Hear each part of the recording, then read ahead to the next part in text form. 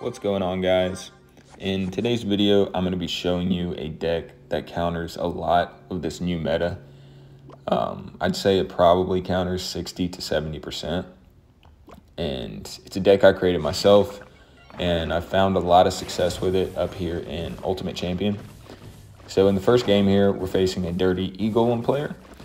Um, I knew it was E-Golem because of his banner, so that's one thing I would tell you guys, do not give away what deck you run in your banner. It's almost never going to work out for you. And that's exactly why I went E-Giant first play. So we're able to get pull off a pretty good defense here. Yes, he ends up taking about half of our King Tower um, and over half of our Crown Tower. But we're able to take his whole tower here. Um, he's really low on elixir. We're full. So I decided to go E-Giant at the bridge again. I knew I was up quite a bit of elixir. So there we go, taking his first tower. And we're even on elixir, and I've got an Electro Giant going down to his crown tower right now.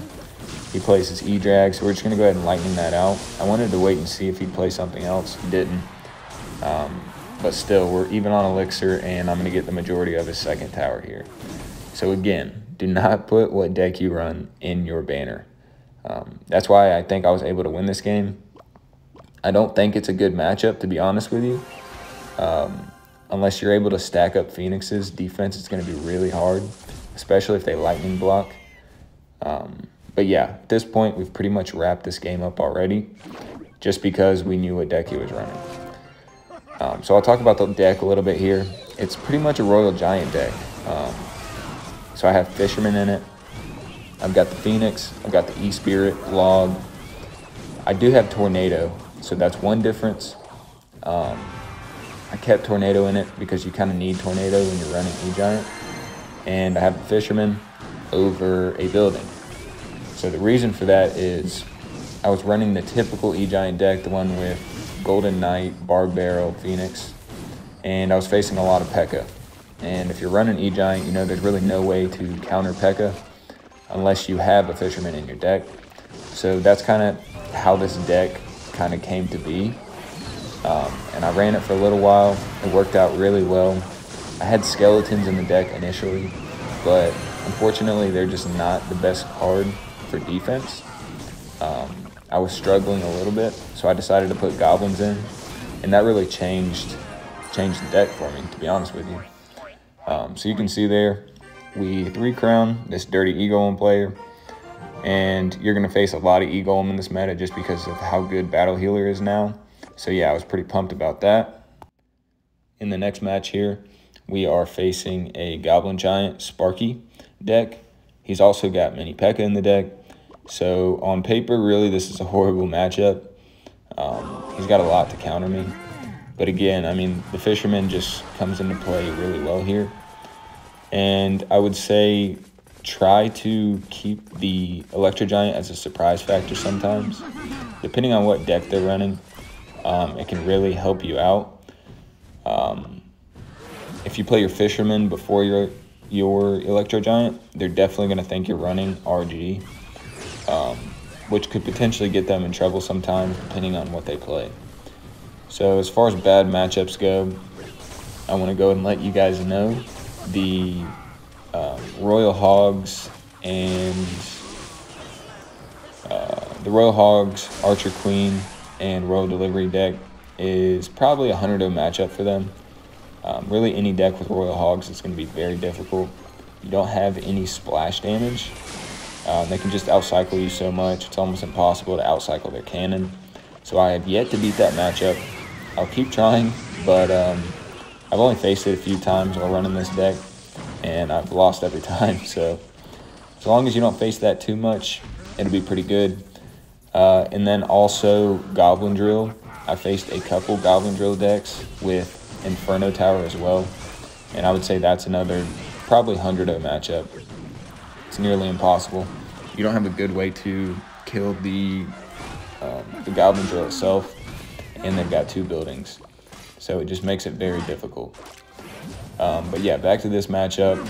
We're, we're playing fairly well. Fisherman's coming in handy. We're about to hit double elixir. So I decide to Tornado away that mini P.E.K.K.A. I know he's not going to expect it, and we get a sneaky little, like, 2,000 damage just because Electro Giant is broken. Um, so yeah, now we're up ahead in damage again, and we're in a good spot. So at this point, after we got all that damage, uh, he's going to spam us. He's probably a little worried. Um, he's got a really good matchup. He's just not playing it super well, which is good for us. Um, so I think we go, yeah, we go E-Giant here. And he's going to go with a mini P.E.K.K.A. and we'll get a good lightning off here. And we'll get a little more damage. So, I mean, based off these two first matchups, you guys can really see how to play this deck. Um, you got to be sort of aggressive. You can outcycle decks that you typically would not be able to uh, with the normal E-Giant decks, which is good for us. Um, another really good matchup, I would say, is Lumberloon Freeze, which you'll see next. Um, that's almost a 100 0 matchup for us. So you guys will see how to play that against that deck. Um, and then there's a couple other matchups in here. Uh, but overall, really been enjoying this deck. I'm around 1900 medals right now, so top 1500 in the world. I'm going to keep trying to push up. Um, I'll keep putting out videos, probably with this deck, because I'm thinking I'm going to run it for the rest of the season see if we can maybe get a top 1K finish. But yeah, that's that's about it. Um, I'm going to let the rest of these games just play out, allow you guys to watch them with no commentary on it. I hope you do enjoy. Um, if you do, please don't forget to leave a like and subscribe for more Clash Royale content. Peace.